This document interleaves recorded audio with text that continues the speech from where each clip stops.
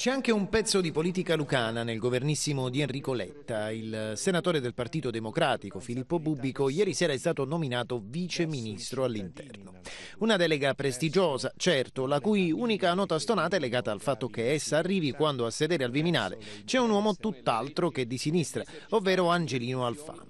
Scherzi di una politica che non riesce a ritrovare se stessa né le direzioni giuste, ma di fatto per Bubbico, parlamentare dal 2006, si tratta di un nuovo step del suo percorso in ascesa a livello nazionale.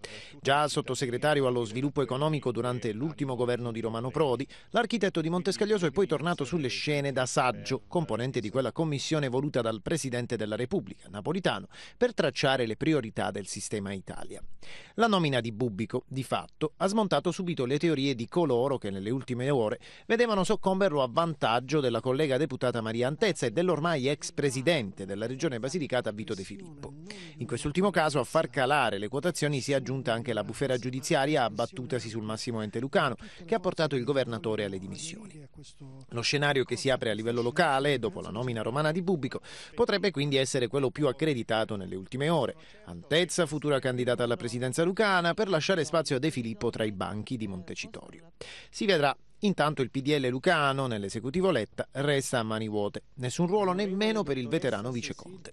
Dal collega deputato Latronico però nessuna rimostranza. Ai microfoni di TRM H24 questa mattina ha rivolto gli auguri a Bubbico definendolo il vice del suo ministro di riferimento, appunto Alfano. Il mio ministro di riferimento, che è l'onorevole Angelino Alfano, è una presenza importante.